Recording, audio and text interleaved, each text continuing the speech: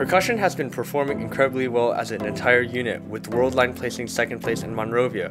Overall, all three lines have been placing top three in each of their competitions. Notably, A Line Percussion finished first place out of seven teams in the Winter Guard International Las Vegas indoor tournament.